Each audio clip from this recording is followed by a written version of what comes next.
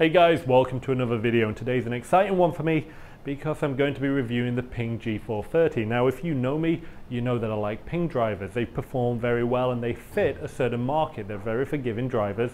They go far enough to help people play better golf and hit the ball longer. So if you're a golfer who's got a Ping driver, maybe looking for an upgrade from the 425 or the 410, or maybe you've been using something like the TaylorMade but you're just dying for a little bit more forgiveness, well stay tuned and you'll find out if this is the driver for you.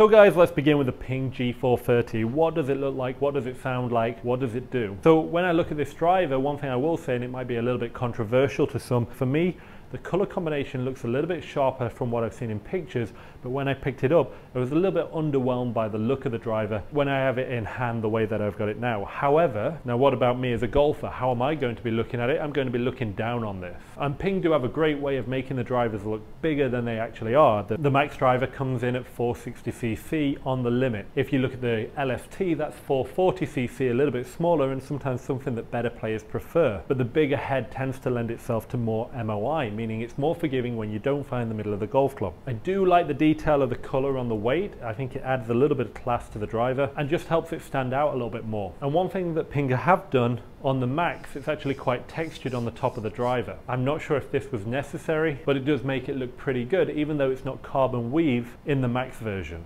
Again, in terms of hosel design, you can change the lie angle by up to three degrees, and you can change the loft by one degree or one and a half degree up and down. So Ping have stuck with the same fitting system that they've had for several years now. Now, having hit this driver, I will say it is refreshingly different to the G425. Now, I am testing the Asian model. This is going to have the Alta JCB, JB being the Japanese spec for the Alta J counterbalance shaft. For those of you in the West, that's going to mean this shaft is a little bit lighter and it kicks more. Really, the stiff in the Japanese spec is more like the regular in the European or Western spec but there are plenty of options that come stock. But as you know with Ping, if you want to buy a more upmarket shaft, you're going to have to pay an upcharge for that. And these Ping drivers are not cheap. From the top, you've also got some white and yellow decals on there. They look good. A little bit reminiscent of some of the TaylorMade driver designs from the top. And on the LST, you actually have it written carbon weaver, but of course, this is not in the G430 max, so they haven't written that on there. All right, you're fed up of me talking, let me hit this. So you might have noticed a little bit of a change. I haven't hit a ball yet, but I've just changed this into the Ping Tour, the chrome shaft, and this is the 75 gram stiff. Now, they will do a black version of this, they do a chrome version of this, and then they do the standard version of this. So you've got the Ping Alta Japanese spec CB, you've got the Ping Tour shaft, and you've got the, the chrome slash satin slash black one. So the black one's going to be the lower launch in, lower spinning. This is going to be more of a mid launch, mid spin. If you're thinking something like a Tensei, this would be more like the Tensei blue. Uh, if you go into the standard shaft, that's going to be more like your Tensei red. And if you were going to use the black version, that'd be more like your Tensei white or your Tensei orange. That just gives you some feel if you want kind of a cross reference, but of course, I'd probably take a Tensei shaft over the stock Ping shaft. But if you do want to buy those, you are looking at paying around a 200 US dollar plus upcharge for those shafts too. So let's hit this ball, let's see how it performs, let's see how it feels. So behind the ball, of course, looks very much like a Ping driver, turbulators, a little bit more of a sharper design. I actually like the back edge of this, it makes it quite easy to align that face. You can tell when it's not quite sat straight. But again, you might want the face a little bit open or closed, but I'm sure it'll help the alignment too. So let's give this one a go.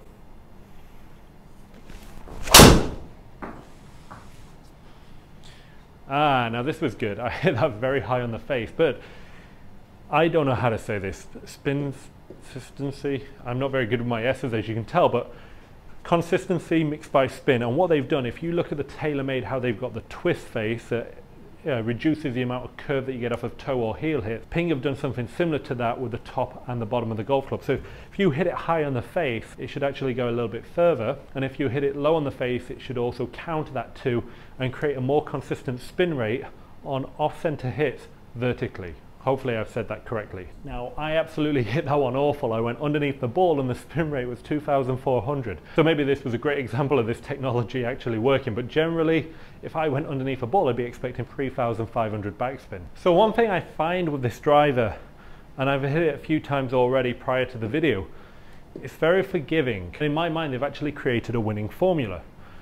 I think there's more diversity between the two products. You've got the Max, which is very forgiving, and you've got the LST, which is designed with a carbon crown to be lower spinning. Now, if you look at last year, I think what they did through the range is they made everything a lot lower spinning, and that made the Max too much like the old version of the LST. So with the G410, I had a lot of players that performed really well with the G410, but just did not get on with the G425. And the reason for that was the spin rate was so much lower than the G410. What it feels like to me so far is the Max is more like the G410, but with added technology, better MOI, and moderate spin rate. This driver isn't for everybody. It's going to spin a lot for some golfers. And I will say it sounds better this year than the G425. I had a very hard time with the G425 when I could hear people hitting a shot and it sounded to me like they'd hit it from the heel, yet I'd look at the data and they've hit it out the middle of the face. So for me, this is sounding better. The face also appears shallower. It's not quite as deep as it was in previous years. Let me hit more shots, I'm talking too much.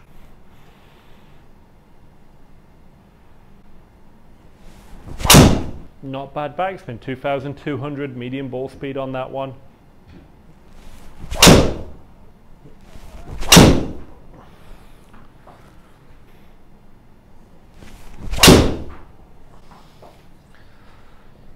It just feels good. Uh, it sounds better, it feels better. Now I did say if you challenge me to hit a fairway, I would just go with this driver over and over and over again. And before I hit the G425, I would bet that this one is better. I like this driver. Just out and out, I am gonna say I'm going to give a lot of fittings this year. This driver is going to be the right driver for a lot of golfers. It's got plenty of forgiveness. The club golfer is going to love this driver. It's very important you get the right shaft. It's very important you get the right loft. And if it isn't, maybe the LST will come knocking, maybe the SFT will come knocking. Okay, Ping G430 LST, what am I hoping for? Um, well, I'm hoping a lot. I'm hoping it, one, it's fade bias. I want it to be slightly more biased towards the right of the fairway because this gives more options to better players. Two, I'm hoping it sounds good if we've got carbon on the crown. Typically carbon drivers don't sound as good as titanium drivers in my opinion. I think Titleist have made very good sounding drivers for a long time and they've stuck to that titanium model. The carbon drivers from Callaway and TaylorMade have got a little bit more of a unique, maybe muffled sound. The shaft is changed, I've put the same shaft in so it's only a head comparison, also 10.5 degrees. And in an ideal world, I'm hoping the spin rate is maybe 400 RPMs lower. So let's have a look. Now there is a little bit more wording on the crown. It does say carbon weave, uh, but not at all distracting. And it's a 440 head, slightly smaller, but not really something that I'd be aware of. Now, before I do hit it, this carbon crown that's separate, you can see the carbon crown. It actually looks a little bit like the original M1. It's like the TaylorMade, as they've got better at making carbon crowns, they've got that carbon closer to the face. This is about three quarters of an inch away from the face and it's very noticeable. I wonder when the G435, G440 comes out, how close, but I can almost guarantee that they're going to keep squeezing that carbon closer to the face and that's probably what the next generations of ping drivers will start to look like. Okay, a little bit off to the right. does seem to have that flatter ball flight straight away. So the last one, 2000 backspin. Now honestly, it's a little bit too low to be livable. I'm not going to deny that it might give you some of the longest drives that you can hit. I quite often see people hit it very, very long on a 16 degree launch angle and 1800 spin. However, on a bad day, that 1800 spin might be a toe hit that drops to 900 1200 you start missing fairways and it's not a very good day for you. So 2000 1800 it's going to give you some really really long drives but there's going to be some really wild drives in there too when you start spinning the ball so low. PGA Tour average around 2250 for the spin rate. But yet ping well done. It's actually still managed to spin at around 2000 rpm so even when I hit it wrong when I didn't find the middle of the face, it still actually got a very manageable spin rate. That's something TaylorMade can never manage. You get a driver, you hit it off the toe on a TaylorMade, it's going left on you, very, very left. So, so far, what do I find? I find the 440 a little bit nicer looking to me, just a little bit smaller head on the face of it, when I'm hitting balls, I don't notice it's not quite as forgiving, but yet when I look at the shots, I can tell it isn't quite as forgiving as the 430 Max. If I was playing a lot, I'd got the shaft fitted to me, I'd probably go for the LST. But if I was a weekend golfer just looking for something where I can find the middle of the fairway, I'd definitely be going for the 430 Max. So for me, the LST does seem to be a longer club, and that's just because it manages that spin rate a lot better for me. Now, if I were really looking to my game, I'd probably prefer to play the max variant with a little bit of a better suited shaft for me, where I get a little bit more of a centered hit, and I enjoy the extra forgiveness that the 430 Max provides. And now I'm on to the part that many of you are going to ask, is it worth upgrading if you've got the Ping G425? How does it perform? G425, very good driver, but I was a little bit more reluctant to recommend this driver than I was the G410 because I felt the forgiveness was lower on this driver. Or just the way it played. It seemed to play that little bit less spinny, a little bit less forgiving for that reason. So I got the G425 Max. This one had a 26 gram adjustable weight. It was 25 gram adjustable weight on the Max for the 430 and I believe a 22 gram adjustable weight on the LST. But when we have a look at this driver and I've put it in the same shaft I've been testing all day today, let's give it a go. But this one I expect it to be a little bit lower launch and a little bit lower spinning. Now straight away, the alignment on the G430 Max on the crown, I actually appreciate a lot more now that I've gone back to the G425. So for something as little as the crown, the G430 does look so much better.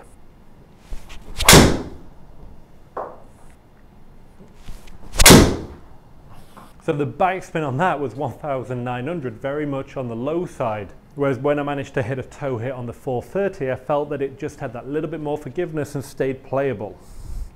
That could cost me one ball per round with the toe hit on the 425. Now I'm not sure if you can feel this at home, but when it comes down to the 425, the sound is more dull. Maybe it's this indoor environment, but the sound of the 425, it isn't as good as the 430. If you wanted to make one upgrade alone just on the sound, you'd definitely go for the 430. Okay, I got a good one. It took me a while to hit this 4, 425 very well. Maybe this is just my performance. Sorry about that, guys. But the 425 for me, it just took a little bit longer to get this working. I don't get too excited by this driver. It's a good driver, but the G430 is just a very, very good driver. We'll start to look at the data in just a moment, but I got one more. So guys, next up in test, you were probably not expecting this, but this is a TSR2. Now I'll be very transparent with you, this is not completely a fair test.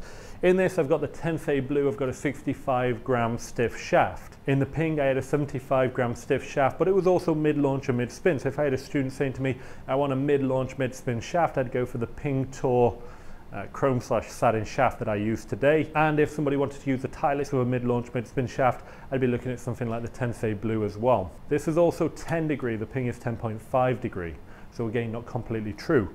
But it is a high MOI driver and many people are going to be stuck between should I get the Ping G430 Max, should I go for the TSR2 if I'm looking for a forgiving driver. Now the data I've seen, Titleist have made a slightly less forgiving driver in the TSR2 than the TSI2. And what they say is that the TSI2 had so much forgiveness that it actually was somewhat detrimental to the distance because it created higher backspin. But golf geeking aside, this is a TSR2. Some people are wanting to know what does it perform like side by side. Let's try the TSR2 and see how this performs. Now we're going back to a more classic looking driver.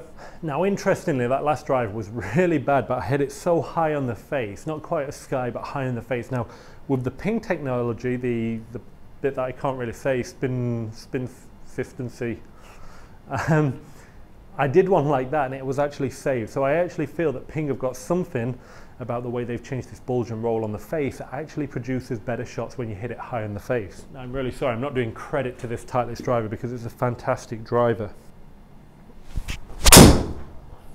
That was more like it.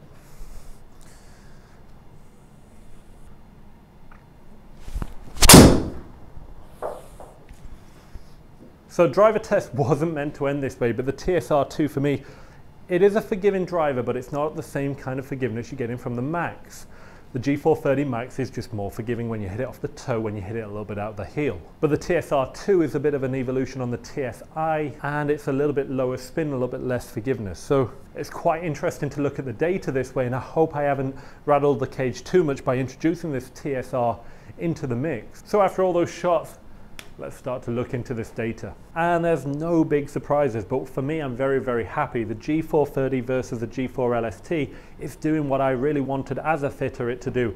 The backspin rate is around 400 RPMs less on the G430 LST. So that gives me a lot of options for golfers that are loving the G430 but spin it a little bit too much. The LST is that better driver for them.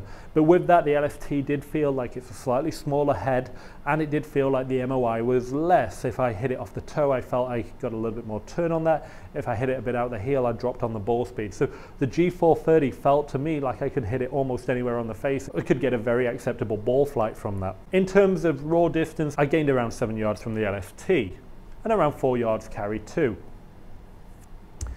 But now if we look into the G425, I really didn't rate that driver. When it came out a few years ago, I was a little bit on the fence. I felt it didn't perform as well as the G410. I still stand by that belief. The G410 for a lot of golfers was that forgiving club golfer's driver. The G425, however, was a little bit lower launch and a little bit lower spinning. It felt harder to play. Now the G430 for me takes the magic of the G410 and just updates it for 2022-2023. From what you see, maybe my performance too, but the driver was around 10 yards shorter than the LST. So when we look at the G425 Max against the G430 Max, there's around 5 yard of difference in carry.